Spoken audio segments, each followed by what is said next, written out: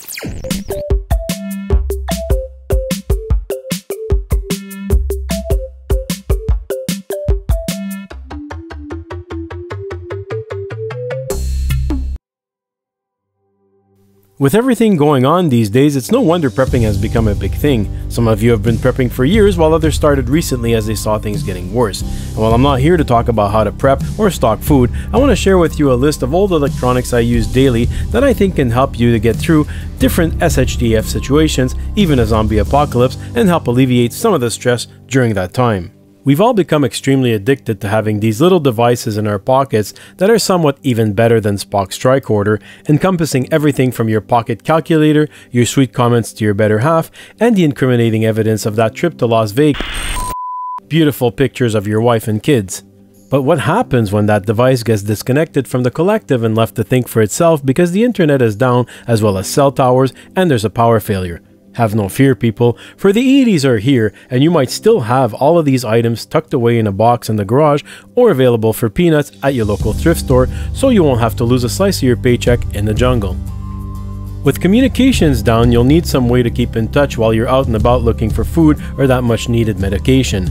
Many of the old walkie talkies, such as the ones from Radio Shack, featured in shows like Stranger Things, are not necessarily a thing of the past. While they are a little bit bulky, they are rugged, and you would be surprised at how well these perform and can be easily modified and fixed. Plus, their size gives you a cool retro look, and as a bonus, because they're so massive, they can be used as a weapon should you run out of ammo. Needless to say, when communications are down and especially the web, AM, FM, and shortwave radios will be your go to item to be able to listen to any emergency broadcasts and find out what's going on. These older radios are very robust and powerful, drawing from large D batteries rather than two AA's. Many have the extra options of plugging them in, and some even have the weather and aviation channels.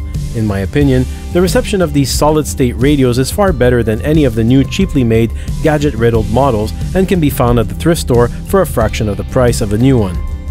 You might think a VCR or DVD player is a thing of the past, but if the internet is down, and depending on the type of ensuing chaos, boredom will hit, and if you're lucky enough to have a generator or solar panel to run a TV, there won't be much to watch, and with no more Netflix or YouTube, you won't be able to binge watch Outlander or any of your other favorite episodes featuring Mrs. RG or get relief from an adult website.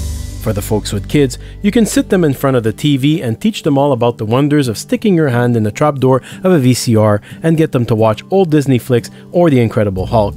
It will be a time for you to get acquainted with complete seasons of the Dukes of Hazzards or the original saga of the Carringtons, and a time to find and dust off that old copy of Big Sauce sitting in a box somewhere in the attic. When it comes to music today, most are using streaming services like YouTube Music, Spotify, or iTunes on their portable tracking devices, while old school folks are still using CD and cassette players. Retro boomboxes that operate on batteries are a great way to have music around the house should there also be a power failure, while smaller sized Walkman or portable CD players will be able to play music for hours.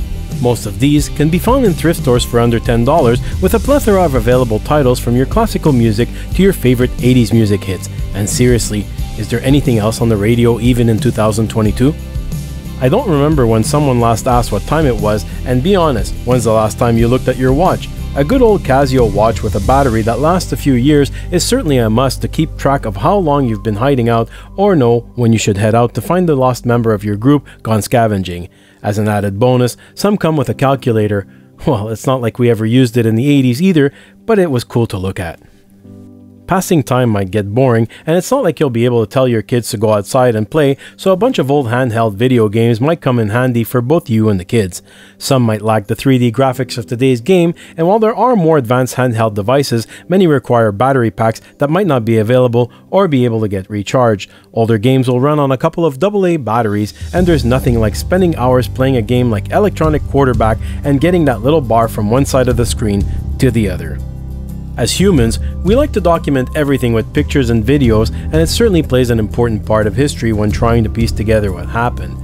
Unfortunately, today, we use cameras for little more than to document one's appearance and share it with countless others who review and rate your hard work from the comfort of their private office.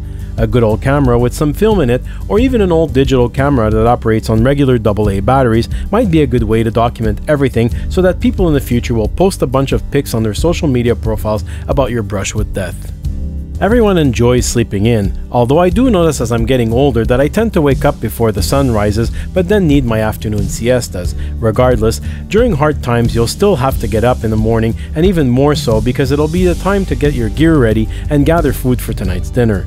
And while you'll get over the fact that this is not an electronic gadget, a good old wind up alarm clock from the 70s should do the trick and keep you from counting too many sheep. Imagine you finally hear a broadcast and someone tells you to get to these coordinates for continued survival, except you don't know how to get there.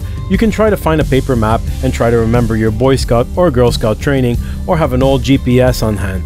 Although you can buy yourself a new or handheld GPS or still have some charge left in your smartphone, some of these old GPS operate on regular batteries and can be found for about $10 at, you guessed it, the good old thrift store.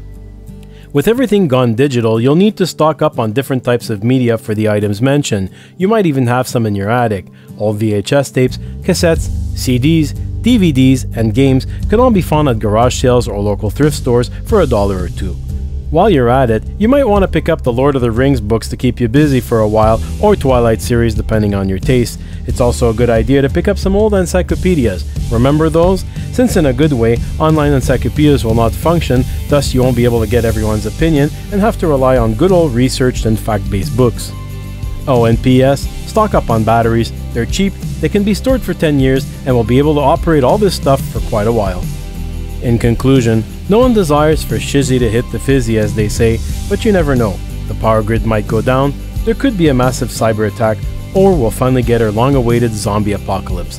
We've all been wanting to return to older times, whether it be the 60s, 70s, 80s, or even the 90s, and we might be getting our wish after all of returning to a less complicated time of dreaming of all the possibilities the future could bring without actually making the same mistakes again.